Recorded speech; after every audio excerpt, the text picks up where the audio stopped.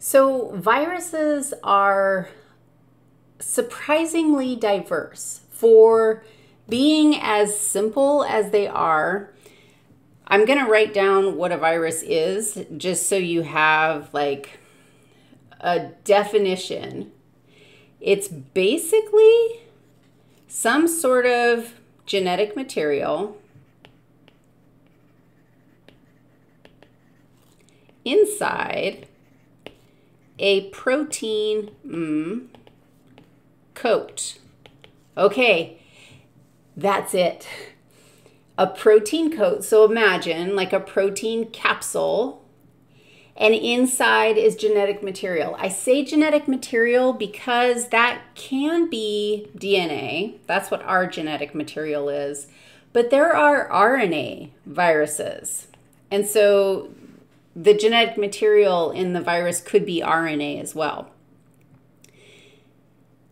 When we think, okay, that is a very simple thing. In fact, viruses, it is generally agreed that they aren't even alive.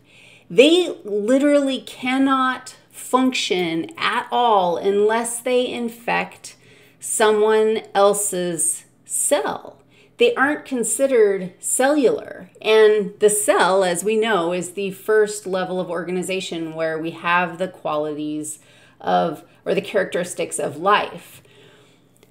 This is a topic of hot debate. It's a topic of hot debate in my very own household, but I still stick with dude, these things aren't even alive. But they're not alive, but they're like wildly diverse. I stole this picture right here. This is a picture of a bunch of different um, virus particles.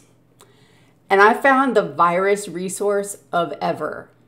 Check this thing out. You're just not going to believe. I mean, if you need to be convinced that viruses are profoundly diverse, go check out this website.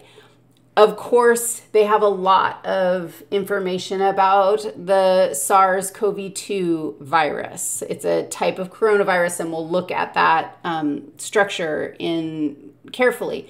But look, these are all categories, like different kinds of virus groups. And you can go and look up and learn about all of them. And look, not all of them infect humans.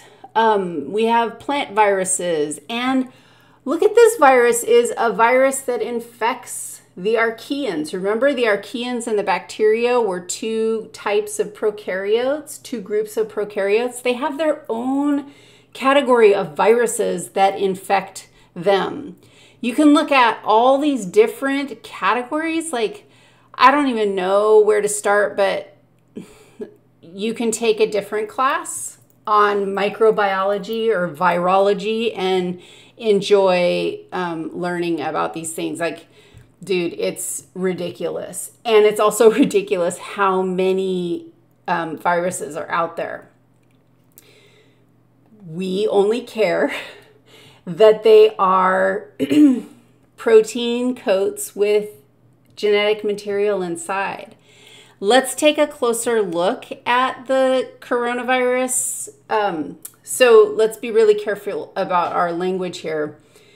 It's the SARS CoV 2 virus. That's the name of the virus that causes COVID 19. So, COVID 19 is the disease that you get if you get infected with the SARS CoV 2 virus. It's super easy to talk about the COVID 19 virus, um, but I'm going to attempt.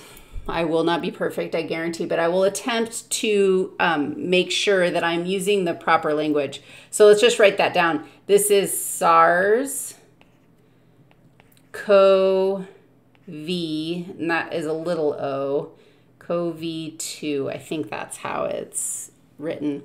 I'll make sure that I've got that correct. I'm not sure where the dash goes. I can't remember. You know how easy it would be to look to make sure I know where I did it perfectly because the dash goes right there. Okay, so this is the virus. Good Lord. virus and it causes COVID 19, and this is the disease. Okay, so take a look at the COVID, I mean, the SARS CoV 2 virus particle. Here it is. And you can see coronaviruses all have these spike proteins. Those spike proteins are the characteristic that's particularly unique about coronaviruses, and they all have them. They're just proteins that help the virus function to get into the cells that it's infecting. You'll notice that um, the SARS CoV 2 virus has an RNA genome. So its genetic material is RNA, not DNA. That's significant. Um, you'll notice that it has a little envelope. Um, the the genome is actually inside here. I'm just going to make sure that you can see that. All that stuff inside the protein coat is your RNA. Super simple. That's it. Protein and genetic material. That's the anatomy. Floats around, doesn't do doo doo unless it can get into a cell. Getting into a cell, I translate that from structure, what you're seeing right here, to function. So let's take a look at how viruses in general and the SARS CoV 2 virus in particular, how they get into the cell and um, replicate themselves.